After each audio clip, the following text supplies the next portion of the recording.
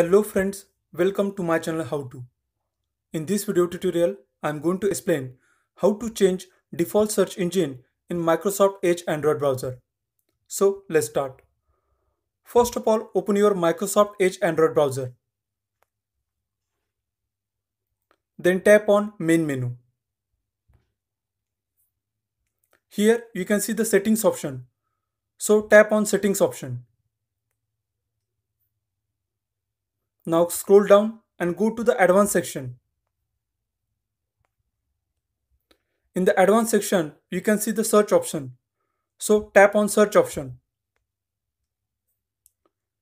Then tap on default search engine. So here is the list of search engine which is available such as Bing, Yahoo, Google and DuckDuckGo. Now select the search engine that you want to apply or you want to change. In my case, I am selecting Google as a search engine.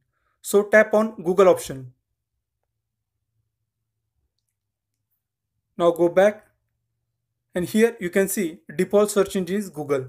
So in this way, you can change search engine in Microsoft Edge Android browser. That's all. Thanks for watching my video. If you are new to my channel, please subscribe my channel how to. Thanks a lot.